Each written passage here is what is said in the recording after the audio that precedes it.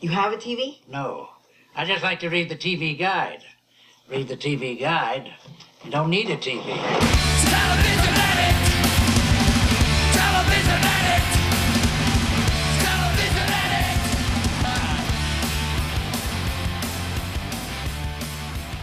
Happy Friday to you. It is Ken Reid. It is time for another edition of TV Guidance Counselor, a bonus edition. I wanted to kick off 2017 right because God knows we need it. So, for most of this month, we'll be getting two episodes a week. Don't get used to it. It probably isn't going to happen for the rest of the year. But uh, for most of this month, I think we'll have an episode on Wednesday and Friday. Today being Friday, you get another episode. I uh, recorded this episode live at the Northeast Comic Con, where I've done quite a few episodes in the past. Uh, it's Gary Summers' comic book uh, pop culture extravaganza, happens twice a year, uh, a little north of Boston, and not too far from my house, which is very convenient for me. Uh, but he always gets a pretty interesting mix of guests, so it's always fun to get to do the Q and A's and talk to these people about television and their careers. And this was a particularly exciting one. I talked to Jerry Casale and uh, Josh 2.0 uh, from Devo, who are an incredible band and were a huge part of my youth and my adulthood, and especially related to television. Devo were really a video pioneer because they started as an art collective. If you aren't familiar with Devo, you probably just know Whip It, but uh, the visuals that, uh, especially Jerry, really influenced that band and a lot of the mid century stuff. And if you're a regular listener of this show, you know that things like Night Flight and uh, sort of late night MTV stuff were a huge influence on me growing up. The stuff like Church of the Subgenius and all that sort of thing that really fit into that weird uh, Atomica mid century uh, Devo aesthetic. So it was amazing to get to chat with him. And I, and I want to thank Gary for, for giving me that opportunity and them for sitting down and talking to me. Uh, we do discuss square pegs. Uh, it is in there, so don't worry too much about it. Uh, I do want to apologize. I had a bit of a, a, brain, um, I don't want to say aneurysm, a short circuit, and I kept calling it the horrible truth about Devo, which is uh, a uh, conflation of a album, live album by the band Mission of Burma, who have a record called The Horrible Truth About Burma. The movie that Devo made was called The Complete Truth About De-Evolution, which Jerry points out to me there. Uh, so I felt a little bit bad about that. But hey, I can't be a genius. I, I can't remember everything all the time, especially at my advanced age. Uh, it, it just happens. Uh, also, at the end of the show, we have a few questions from the audience who are not mic'd, so I did my best to make those audible for you. So uh, that they're a little bit rough for a few seconds here and there, but stick through it. I didn't want to cut out the questions completely. And uh, listen for the gentleman with the southern accent is actually actor Lou Temple, who you may have seen in The Walking Dead. So a little little cameo appearance there by him. So please sit back, relax, and enjoy this second episode of TV Guidance Counselor this week with Jerry and Josh from Devo. TV is my friend, and it has been always there for me in time of need. presume you're all. I mean, I'm I'm just assuming, especially the front row is here for this panel, based on appearance. It's not coincidence at all. Uh, so please welcome Jerry and Josh from Devo. Hello. Thank you, gentlemen. Um, I I wanted to start off by talking about how one of the things that really struck me about Devo when I was first introduced to them via Night Flight, USA Network's Night Flight, which always showed the horrible truth about Devo, um, was how you were sort of mining that low culture, mid century culture stuff in a way that I hadn't really seen anyone do before, and then sort of became how everything was after that. Um, what sort of sparked that? Because I had read before that you, like, you kind of were, were a hippie to begin with, correct? Somewhat. I mean, I I did have hair that looked like Brian Jones of the Rolling Stones when I was at Kent State University. But I mean, I think what happened was that my mind worked uh, too sharply to to uh, go with the hippie kind of slacker philosophy. I, I just knew too much, and I was the kind of guy who couldn't pretend I didn't know what I knew. right. So, and I had a close knit group of friends that were like, uh, you know, in the art department, in the philosophy department, in the uh, um, English department, and we hung out together and kind of created the theory about de-evolution based on what we saw, which was a society in decline mentally. Right. Like, you know, infrastructure falling apart, people not being able to analyze things, people not being able to think rationally. We've come so far from that now. Yeah. well, now it's beyond idiocracy. I I thought I thought Idiocracy was the movie Devo should have made, and I know I could have made it better. The script is good, but the movie. There's still time. Anyway. Still do And now Trump has trumped Macho Camacho. It's true. Uh, It's it's odd. I mean, reality has sort of outdone uh, art and the exaggeration of art in a lot of ways. right, and when what we were doing was um, mining ad graphics from the 50s and 60s, and all the really bad pop sci-fi stuff that promised flying cars, Right. and, you know, and we knew that that future, that what we were being presented with, was not where we were going, and uh, and that it wasn't progress that we saw, but we saw an unraveling, It's a which we call de-evolution. Right. And so de-evolution started as an art movement, and that's exactly why you see those kind of bold-faced references and homages that I started using in the early Devo videos, making fun of uh, the inanity, inanity and banality of just the culture that we were surrounded with. Right. It was that it- you sort of took a lot of that atomica, that duck and cover kind of everything's gonna be fun. Swell. I lived through duck, duck and cover. I- Yeah. I, did it. when you were when you were growing up. Did, were you aware of how ridiculous that sort of stuff was at the time, or did it take being uh, you know a, a couple decades removed from it, or as an adult when you started Devo to sort of r- really kind of critically analyze that sort of thing? You know, it's always like you think it is. It's like you and a couple friends know better. Right. and nobody else does, and then you get kept after class because you laughed during duck and cover. right. You know. Uh, I, also, I had the misfortune of growing up Catholic, so I had a real, did. real healthy distaste for illegitimate authority.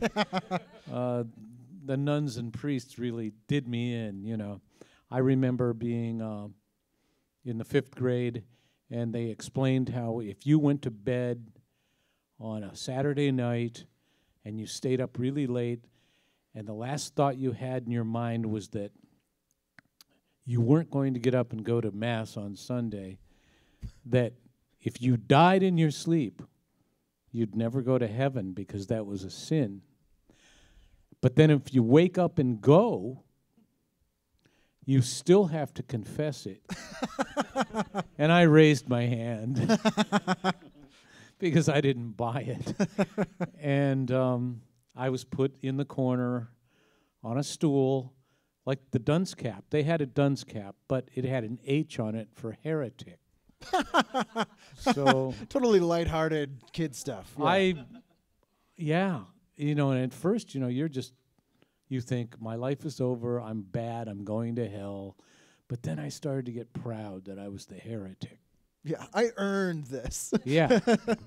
so early on, you make that choice. and you know, you mentioned the the Devo videos, and um, you know, had you had you seen that? Like, how familiar were you with the visual stuff of Devo before you started working with the group? Very. Yeah. Uh, I had been a fan since I was very small. Where did you first uh, see them? Um, like a lot of people, I think it was Saturday Night Live, uh, late at night on a little black and white TV, and brain cells started popping as I was watching it. And What was that? Seventy eight or seventy nine that you did uh, Saturday Night Live? Might have been late eighties. Uh, Saturday Night Live Yeah. was October, I want to say October 18th, 1978. yep. Yeah. And then Fridays, you had a great performance on as well. I see. Well, yeah, well, Fridays, Yep. you know, they West Coast answer to Saturday Night Yeah. Live.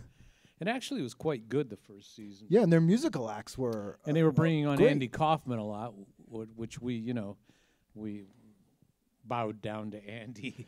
Andy was like Devo, like that was the definition of what we were trying to get at. Let's mess up the system by using the sort of trappings of popular culture in a way that that sort of garners us uh, some. Well, he was completely disarming. Yeah, yeah, He he didn't do he didn't follow any expectations of comedy. Right. So people didn't know if it was funny, which is great, and if they should laugh, which was great. And by the time he became Tony Clifton, yeah. then it was pure performance art. Um, There's that infamous story of him him getting Tony Clifton booked on Taxi yeah, as a guest star. yeah. Well, we saw him fight as Tony Clifton backstage at Fridays with the uh, Jack Bur- producer. oh, Jack Burns was it J- uh, Jack Burns he was fighting? Jack sounds right. Yeah, You got you got his name? I think it's Jack Burns. Yeah. Yeah. All I remember Yeah. is the guy had whitish, like Yeah. hippie-ish hair, and he always wore these Satin, Satin jackets. ball that's, jackets, That's yeah. Jack Burns. yeah, he was a he was a guy from the '50s who had kind of written uh, comedy for years and years, and uh, it was an odd choice to run Fridays. He looked like a coke dealer. Yeah, he's the guy in the in the infamous scene with the Michael Richards fight. He's the guy who runs into this and starts pushing Kaufman. Yeah, that's good old Jack Burns. Uh, probably uh, knew a lot of coke dealers if he wasn't one at times himself. Well, I'm sure. But you guys had a very visual style early on, which was more of a, a, a performance art piece. But we're really kind of the only group doing videos. Maybe Michael Nesmith might have been the only other person who was kind of doing that sort of thing in the in the mid '70s. yeah, I mean, uh, other than what Richard Lester did with the Beatles, Right. there was basically some concert, you know, m- more documentation Yeah. and some performance videos. I think there was a Rod Stewart one. Yeah, Penelope Spheeris actually directed a lot of those, like Parliament Funkadelic, and they would make them descend to cities so they wouldn't have to send the band there. and right and then we had heard that you know david mallet was doing something with david bowie but we hadn't seen it so we were just doing short films we didn't think of them as music videos and we didn't really know what we were going to do with them because our plan for them uh, turned out to be you know uh, a pathetic idealization we believed in that uh, in the in the popular mechanics and stereo magazine that um, that video discs were going to happen. You know, the, this video disc revolution really got us going. You did a commercial for one, didn't you? Do like Yeah, a- we did in the early '80s, Pioneer. Yeah.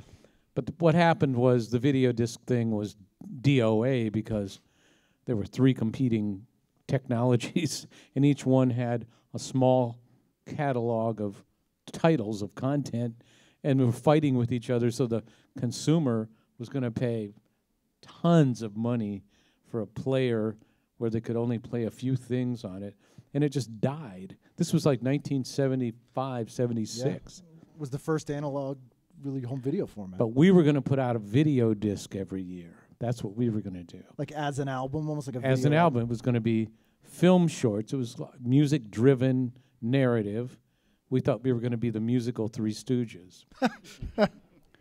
and uh, none of that materialized, and we found ourselves just playing in the clubs and doing our live stage performance kind of art and being p- pulled through the music business meat grinder of of you know what would the emerging independent scene at the time.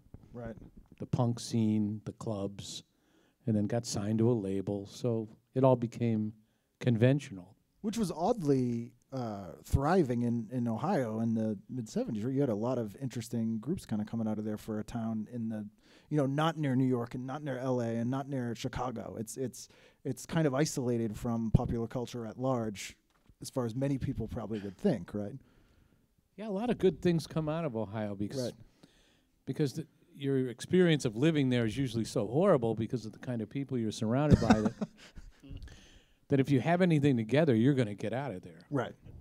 But that also makes you stronger and it makes what you're doing more you know more have more substance Right. and we and and and, and frankly doing what devo did i'm sure w- would have died in new york or chicago or la because it would have got attention right away and some writer would have nailed it with some definition some label Right. and then s- a, a, a guy would have come in a club and told Mark Mothersbaugh, "You don't need these guys," and then he would have gone on and done nothing. Right.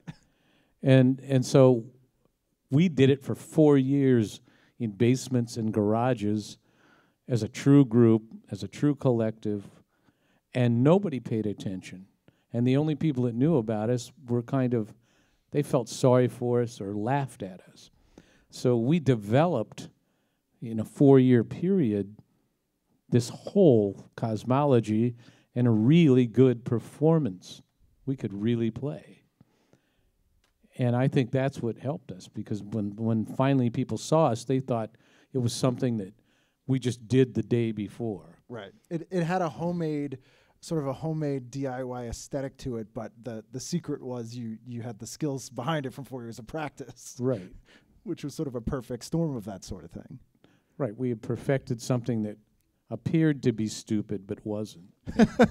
How odd was it once, you know, and, and for Josh too, once you started seeing a, a group like this and that really stood out as being unusual and unique, sort of really becoming a mainstream pop act in a lot of ways, not by your um, intent, but just by the way that you were getting exposed on things. And you're having weird deconstructed songs like, you know, working in a coal mine and in in heavy metal the movie and that sort of stuff. Uh, You know, it it, it shouldn't have it almost shouldn't have happened. Uh, it, it didn't make sense, which is this is a compliment, by the way. No, I mean, you know, we we worked hard at something that we thought had a chance of, you know, hitting the radar and getting our heads above the water. And for a moment it did. right. For a moment it did. If when you're two steps ahead and nobody can second guess you, that's when you win. I, I'm sure it's like when the Beatles came on Ed Sullivan and it was just so outrageous to people they couldn't compute what it was supposed to be and it just created manic response. Right. We had that for a moment.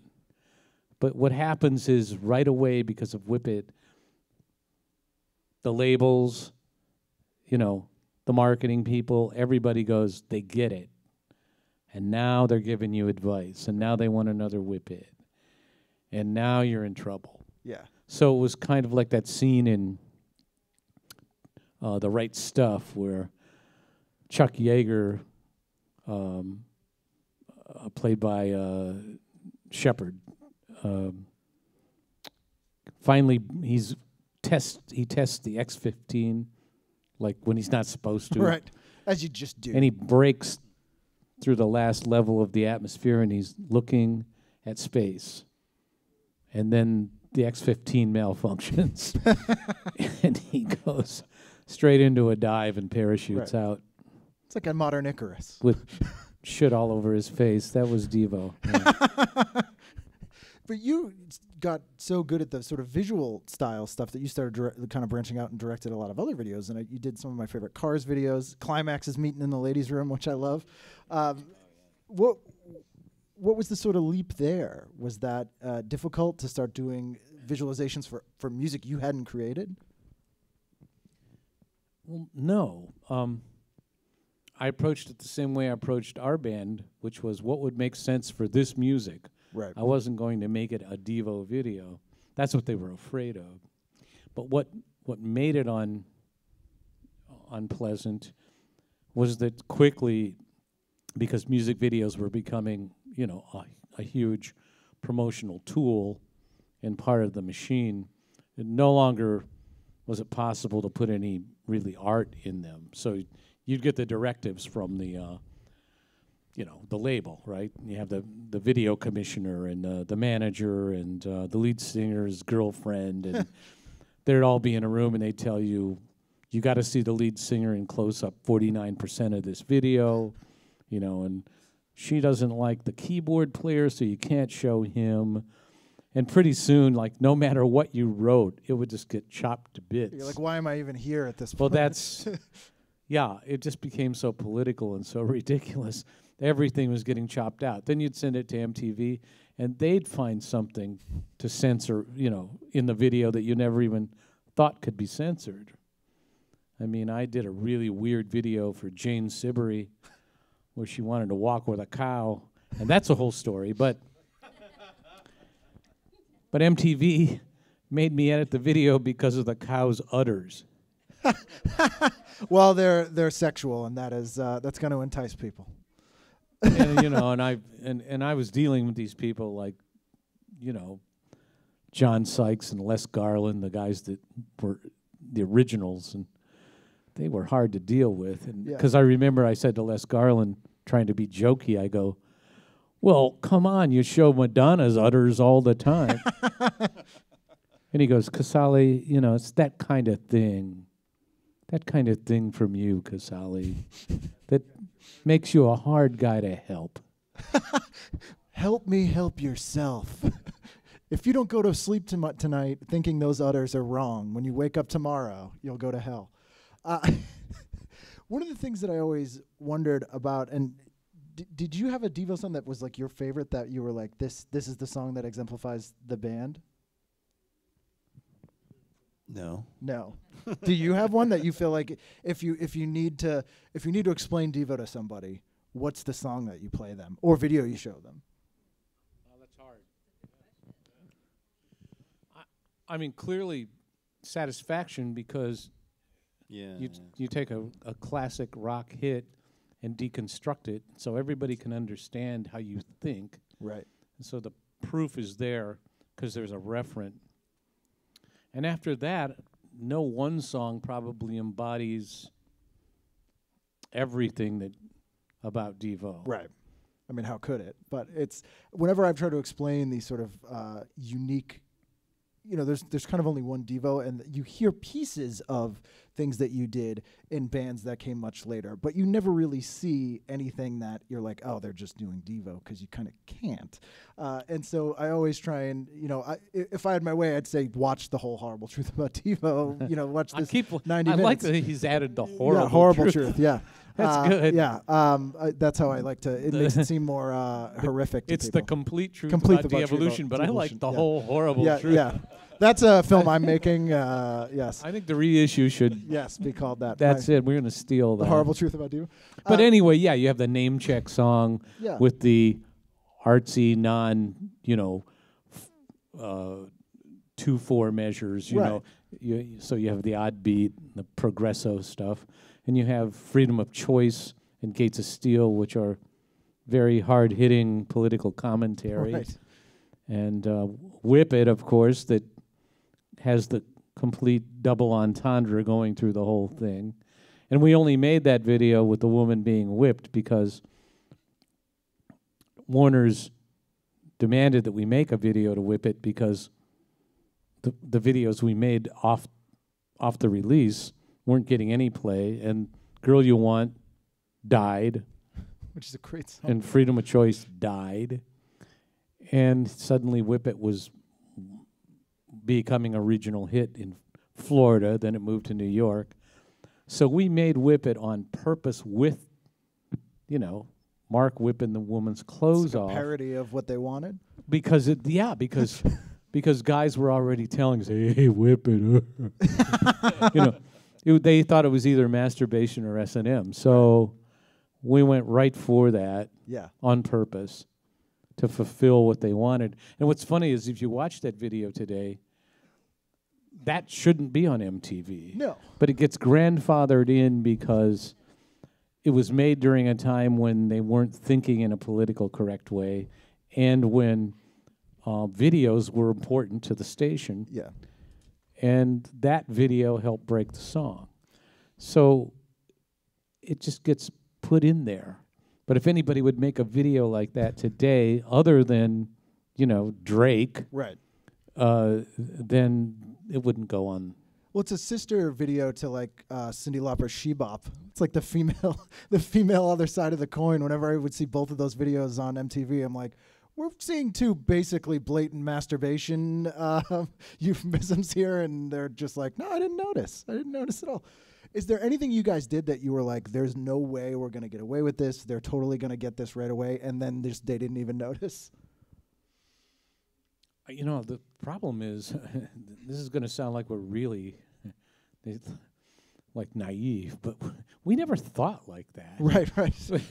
We, we were just uh, trying to do what we thought of. Uh, you know, it's like the too many notes scene in um, Amadeus, you know, like where he Salieri tells him there's too many notes in that, and he's like, "What do you mean?" Right. It's like there's it's only the notes in there that I needed for the idea, you know. So we never we were always I suppose if there was one stupid example, it's when the French fry flies the animated French fry yeah. flies through the animated donut and that's good. Yeah.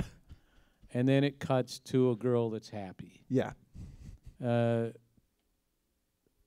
I kind of suspected that it might get chopped. Might catch up.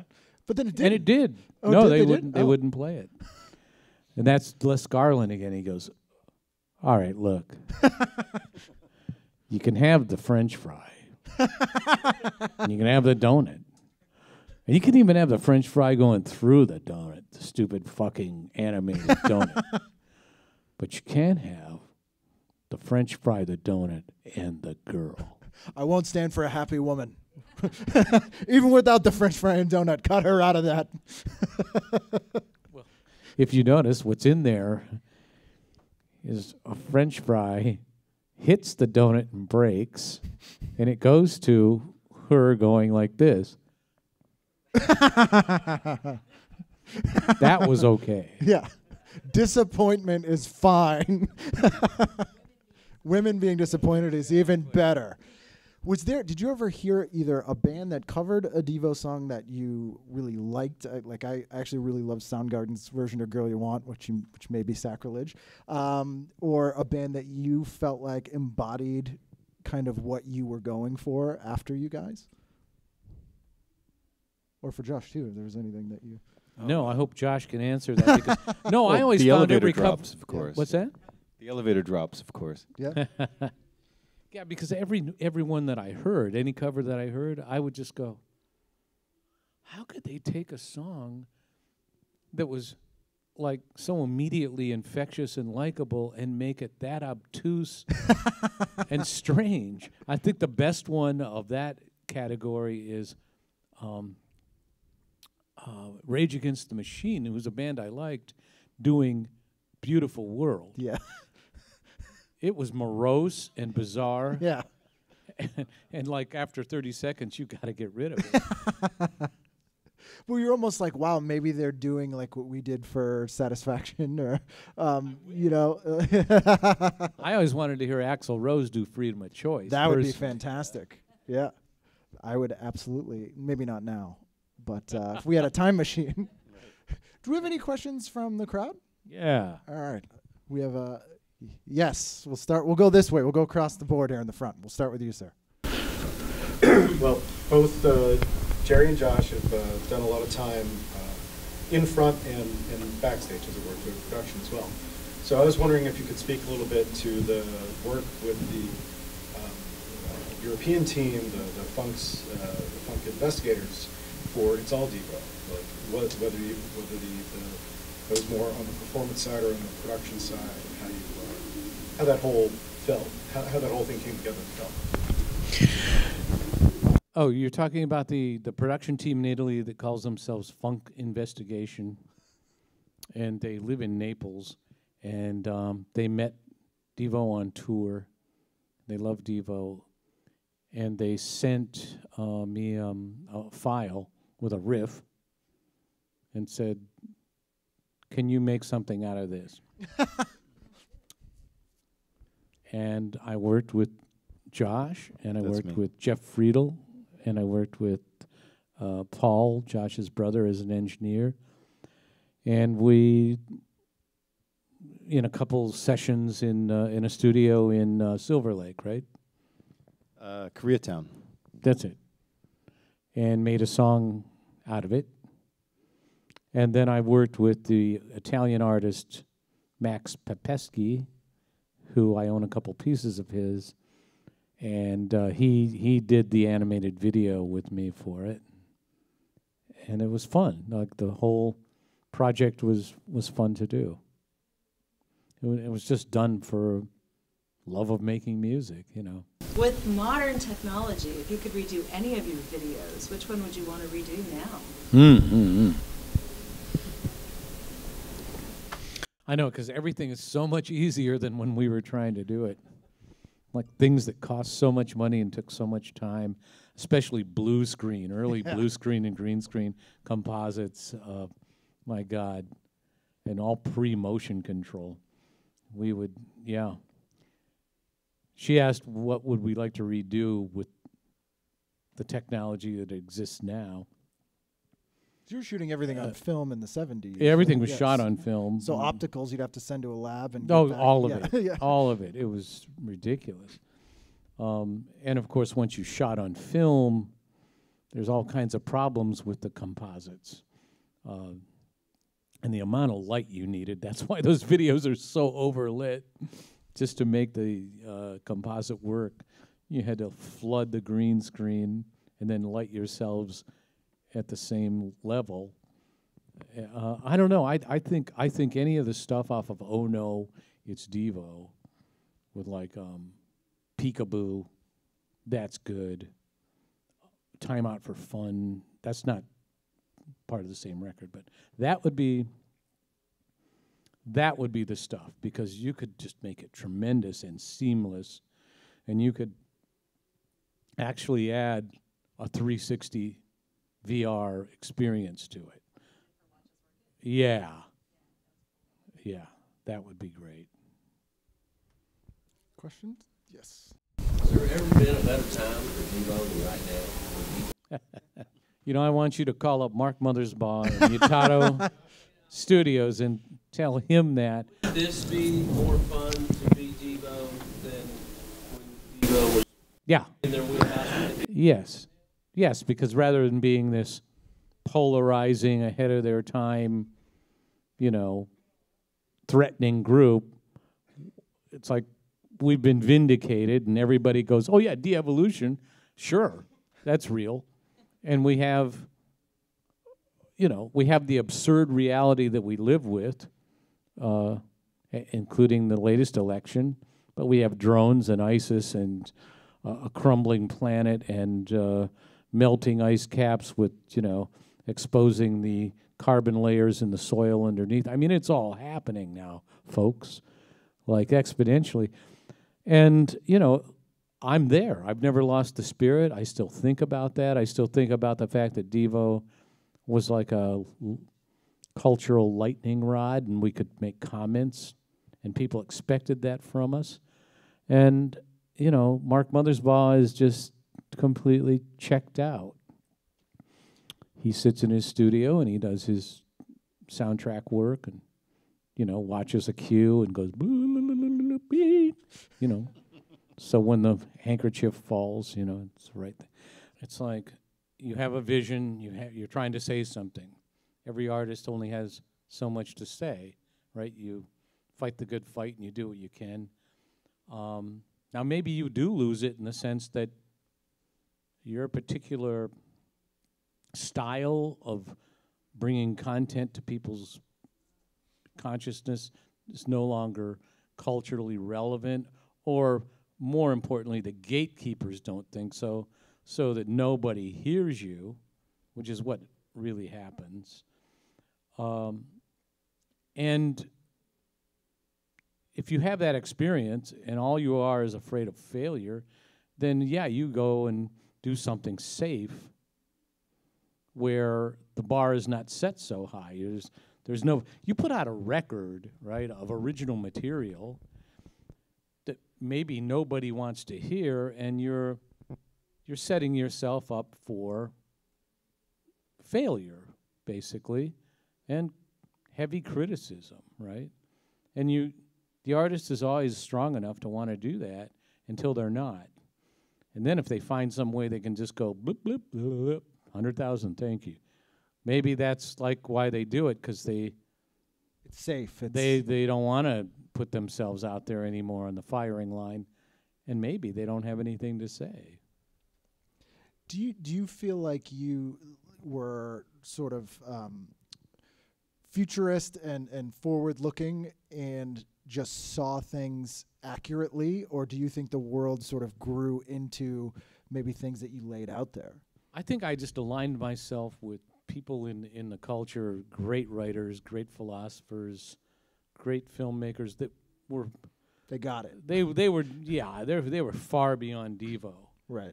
Um, but we recognized and were influenced by. And so you just, you know, you do what you can, right? There's no time to waste. Like you have an idea, you think it, and you don't censor yourself, you do it.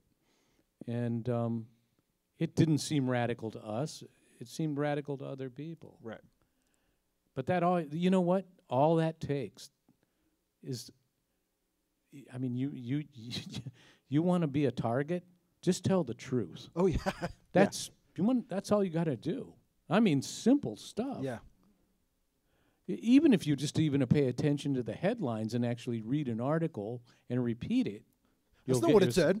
Yeah, you, it's all like Animal Farm. Yeah. Like the sheep don't remember that the rules on the side of the barn were different last week, Yeah.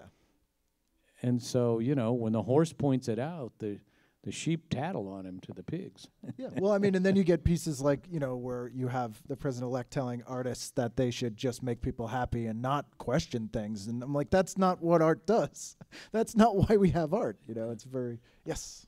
Do you feel like, um, because I think I know, I think if everyone, if you're an artist, musician, whatever, maybe there's, there always seems like you're waiting for the end game. Like, do you feel that you're waiting for the moment where, like, I got there, like, this is it? Or that might just be an illusion of that just kind of fantasy of that type of comfort, like, I got there, I made it.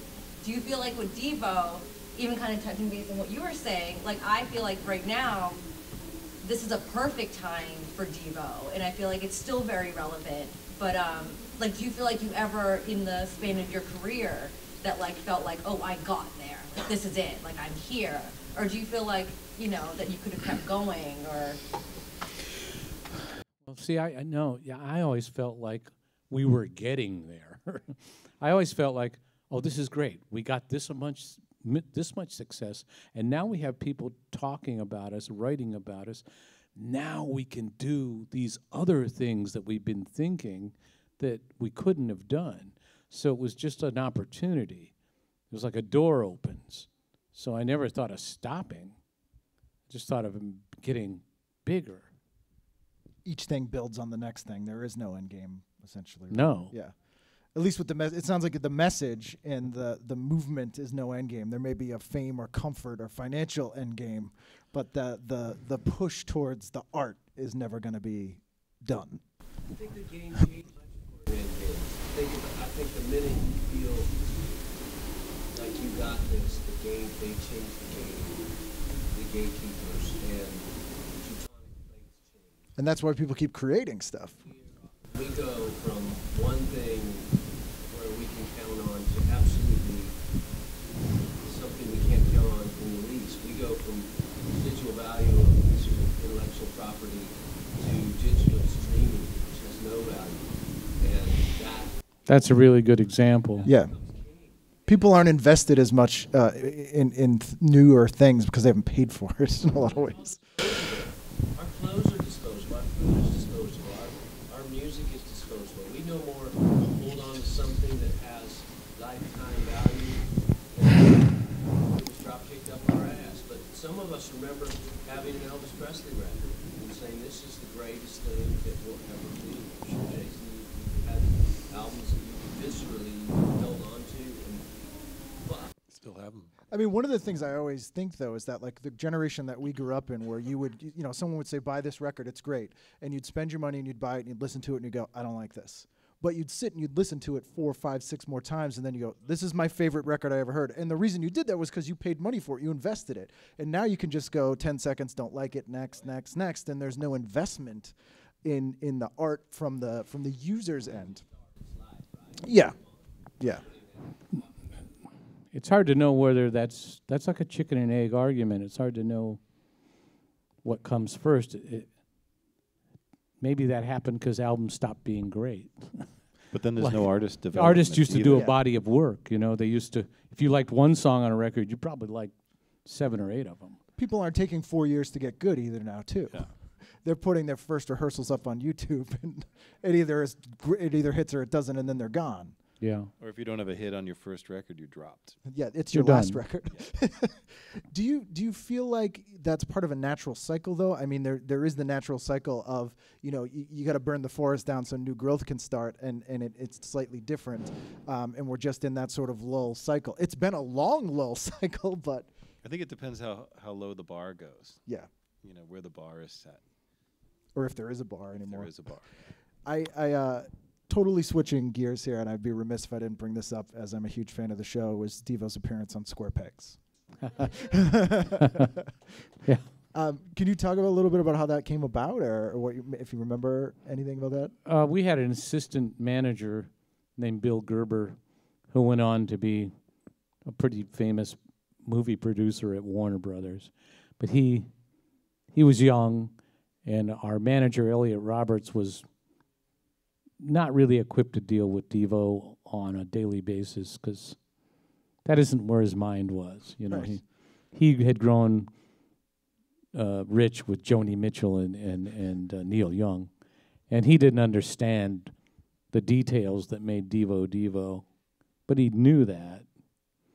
And this guy Bill kept coming around and coming around, so he hired Bill, Yeah. and Bill had his finger on the pulse in in the L- L.A. you know hip wazzy music scene and and all the friends because he had gone to Beverly Hills High. So he said, "You guys got to do Square Pegs," and of course, we were horrified. We we thought Square Pegs was really fucking stupid. so, and uh, but he sold it to us. You know, he's he said they'll let you do this and they'll let you play that's good with the video, and we went, "Oh, okay." So we don't really have to do anything we don't want to do. And then we worked all day with the cast of Square Pegs, and I can't remember the. You, many of you probably know the the cast of players, Oh, yeah. like the Sarah Jessica Parker and yeah, Okay. and Beatts created the show. The- uh, who- who were some of the other- Um, you also had um, Jami Gertz. Jami Gertz. Yep. Uh, Tracy Nelson, um, Ricky Nelson's daughter. Okay. So here's what we see, right? So we got a trailer on the lot all day. And I don't think one of those kids was of legal age. Nope. And they were Partying? snorting, drinking, fucking. Jami Gertz tried to get me in her trailer, and I was smart enough to go. I, got to go back to a, the Devo trailer. It's like I gotta rehearse. Like, they, they they were these kids were trouble. Yeah. I was seeing everything that makes ISIS want to kill Western society, and and and we felt like real rubes. Like we had been in L.A. three years at that point, and suddenly. You know, I felt like an Ohio farmer. I couldn't believe what I was seeing. We're in the belly of the beast here at this. My God, it was out of control. Yeah. And adults, you know, Just on the set, happen. they knew what was going on. Yeah. So we thanked Billy for square pegs. It's the rock and roll band that has to be like, guys, maybe we want to slow down a little bit here.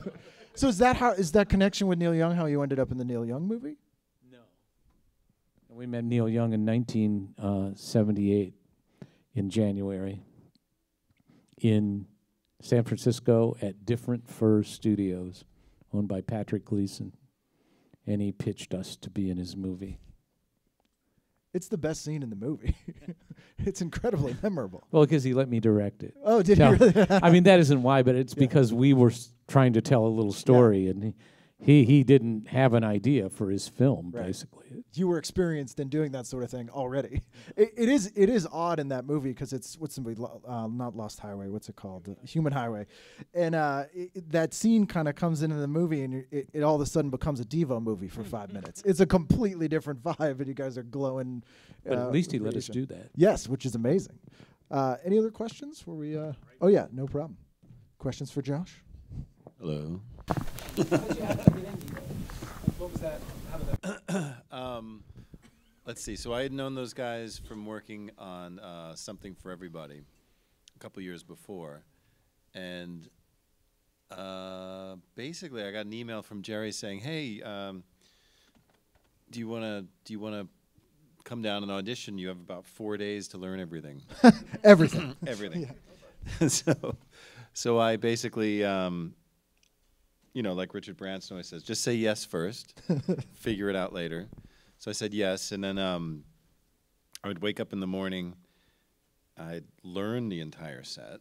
Then I'd go upstairs and I'd I'd watch YouTube for three or four hours, taking notes on choreography and and where everybody is on stage and how you have to get out of the way for this, per, you know, everything. Go back downstairs, run the set. Go back upstairs, read a book about Devo. Go back downstairs, run the set. You know, it was like for yeah, for three or four days, just cramming it all in. And then um, I had heard that there were some other people coming out Monday to audition, and I got out there and I was like, can, we- can we just set it up for Friday? So I, I got there on Friday. I don't think Mark was there. It was everybody else, and we ran it, and that was it. And then they were like, okay, fine. And then they, they didn't want to have anybody else come in on Monday. And then I flew to Chicago, and they had everything set up in a studio. And the guy picks me up in the airport, and it's like a circular thing. He's like, "Well, we're just going to go around the circle for a while. We got to pick Mark up." Well, uh, okay. So we circled for like a half an hour. and then finally, Mark gets in. He gets it behind me in the seat, and it's dead quiet. And he goes, "Ah, "Some pretty big shoes to fill there, Josh, huh?" and uh, I was like, "Yeah, I got pretty big feet." So we get to the we get to this rehearsal recording studio, and and uh, we ran the first song, and Mark comes over and he goes, "All right, okay." We ran the second song. He's like, "All right, okay." Third song I think was "Whip It." He goes, "All right, okay, all right." And he, he opens up, and, and the Moog is kind of you know it, it opens up like this, and it's got a little storage area where he keeps all his tchotchkes and little rings and things. And he, he pulls out a ring. Give me your finger. All right, good. He just married you and, to and that was it. Yeah, and that was it. And then uh, and then we did the two shows with Arcade Fire at the Bull. What was the Bull something where the Bulls are? In Spain? No, the the team, the team, Chicago Bulls. Yeah, whatever they were in. Shows how much I know about sports. Spain. Yes. Spain? The running of the Bulls? The running of the Bulls. you stand there. Yeah. I would love to see Devo play the running of the Bulls. I will That'd say that it. would seem weirdly appropriate. It'd be like that scene, the scene where Woody Allen's running with the cello. yeah. Yep. How long did you suffer after getting hurt on stage in Times Square? Suffer. What do you mean by suffer? Suffer. Should we explain the injury? oh, to walk again. Um, that was interesting. Uh, I was in the, the hotel for three or four days, and then I made it home, and it probably took like a week or two before I, I was hobbling around on crutches. So I would say, I don't know what happened. That was that you wanna- what happened supernatural sh- stuff that went down there. Did you guys ever have a hell gig where you, you got hurt on stage or it was like a real Everybody has fight? gone through it, I think, in the band Yeah. at least once, right? Has you, been you robbed. can't not get hurt doing what we did. Oh, you remember that, yeah. Yeah, the worst we actually that I had a chronic injury as a result of a big concert in 1978 in Hawaii, and um, I got a chronic back injury, and what you saw, you know, 20 years later, was a direct result of that.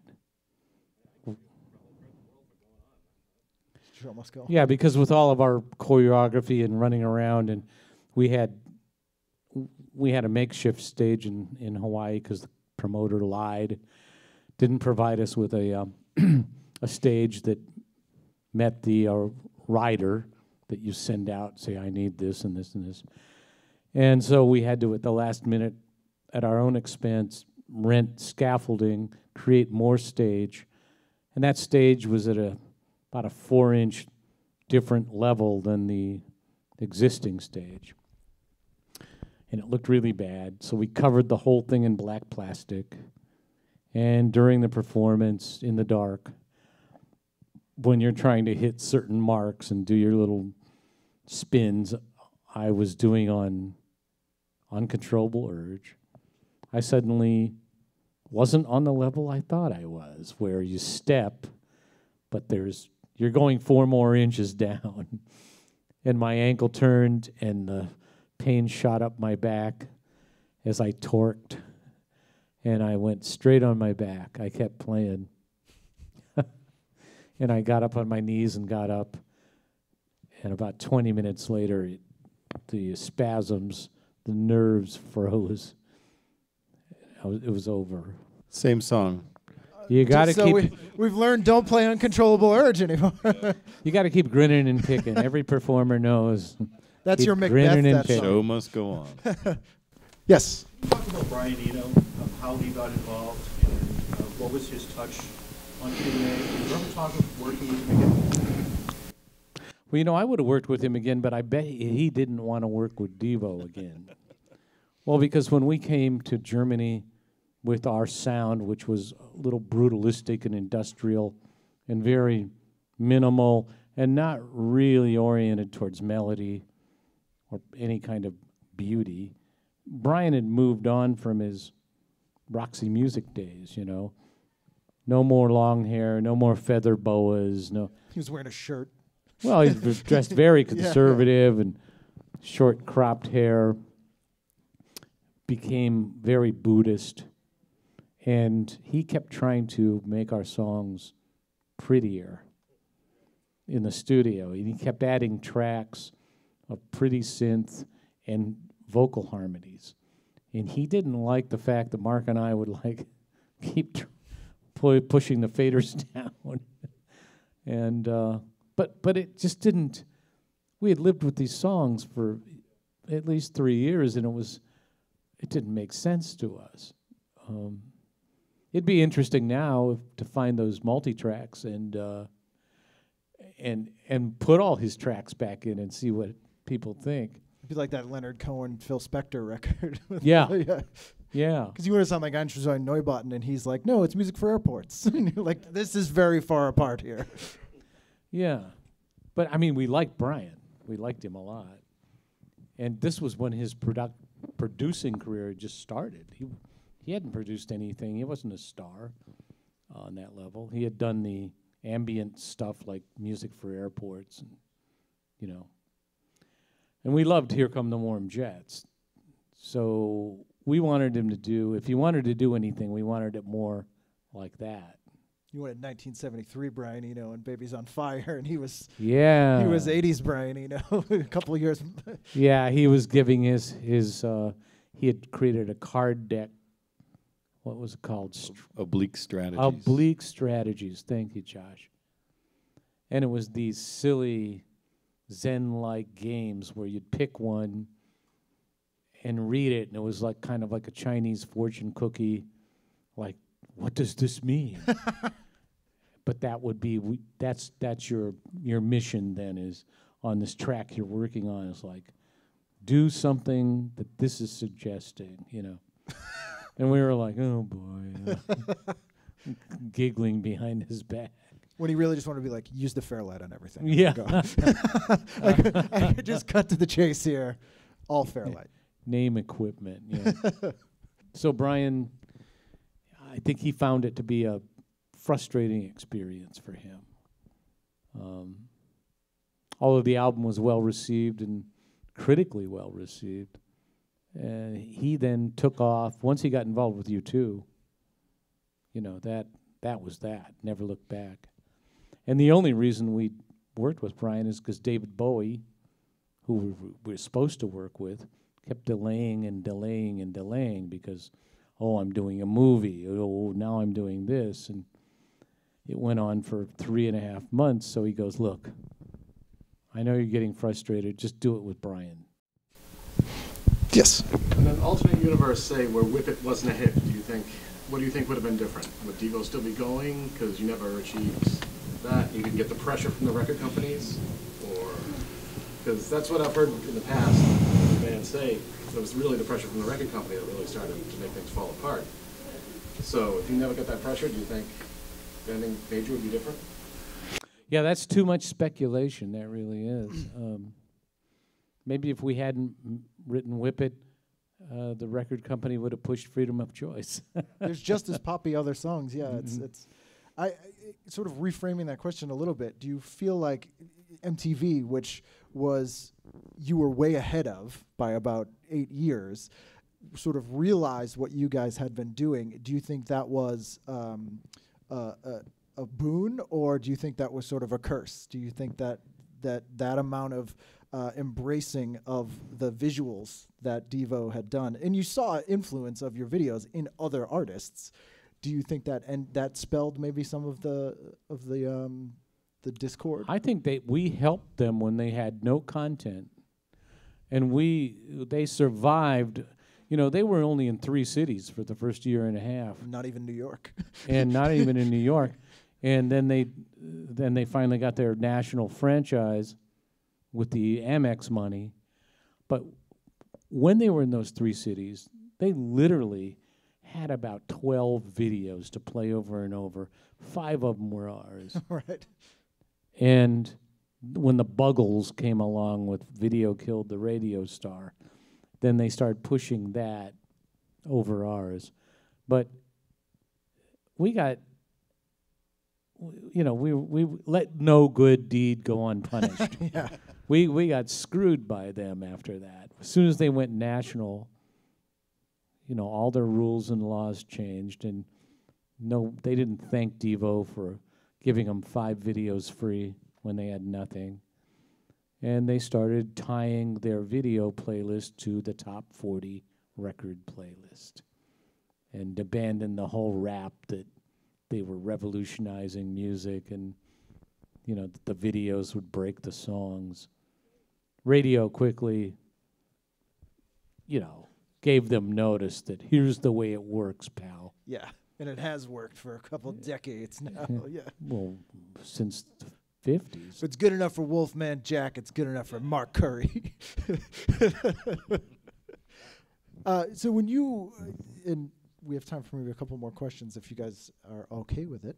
Um, but the question I was going to ask is, when you're this very visual group, do you do you feel like the music and the visuals were equal, or were you because you were always kind of the visual guy, right? Weren't you more of the the the guy who sort of des- designed the sort of art that we think of as Devo, and you came up with the the power domes and uh, all the the sort of things that people think of when they think of looking Yeah, at Devo. yeah, I wrote more of the lyrics. Mark wrote more of the music, but I designed the stage shows and the costumes and directed the videos. Right. Do you see do you see the influence of those, or did, when did you start to see the influence of those in culture? Because it's certainly there.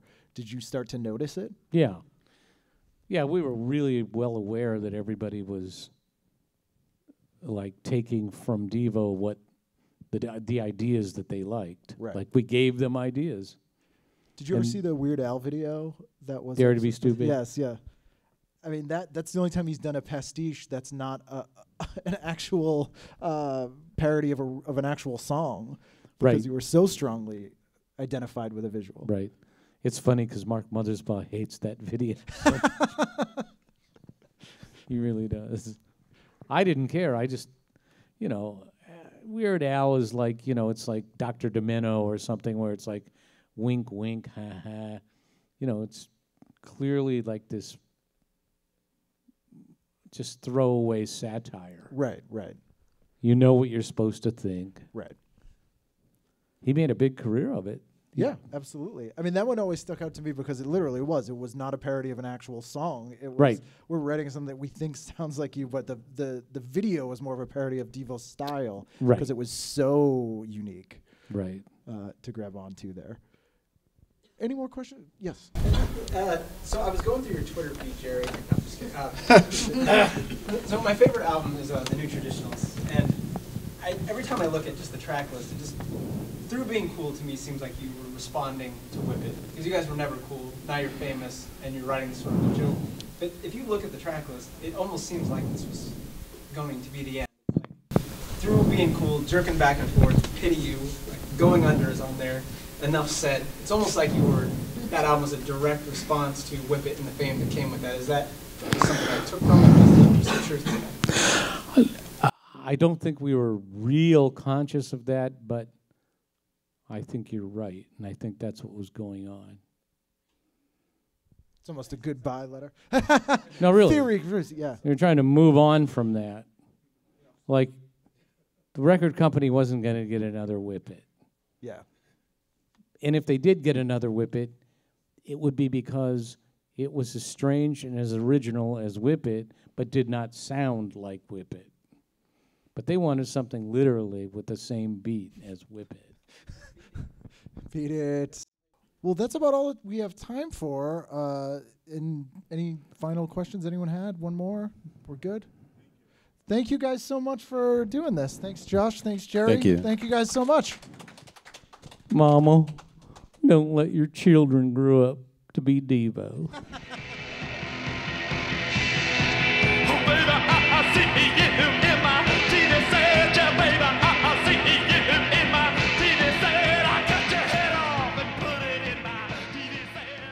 There you go, Jerry and Josh from Devo had a great time. Real, real scoop about Square Pegs there, uh, which was pretty fantastic. Uh, love them, love their music, love their entire aesthetic, and uh, again, a really important group for me, and a really important group for popular culture, I think, and for uh, moving us forward in an interesting way, which is a thing that we certainly needed then, and we certainly need now.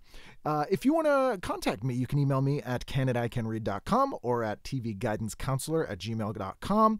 I, of course, am at icanread.com for my stand up comedy. You can go there and see when I'm doing live shows. Uh, we are doing a live show in a couple weeks in San Francisco at SF Sketchfest, where my guest will be another musician, uh, the one and only Mr. Dr. Frank from the Mr. T Experience. So come out to that show, say hello. I will have gifts for people, as I always do when I do live shows, and we'll have a brand new episode Wednesday. So be sure to subscribe to the show. We'll have some more bonus episodes coming up as well. Uh, let me know what you think. You can join our Facebook page. Just search TV Guidance Counselor or tweet to us at TV Guidance. I thank you again. I thank Gary Summers. I thank Jerry and Josh. And we'll see you again next time on TV Guidance Counselor. Is a French fry hits the donut and breaks, and it goes to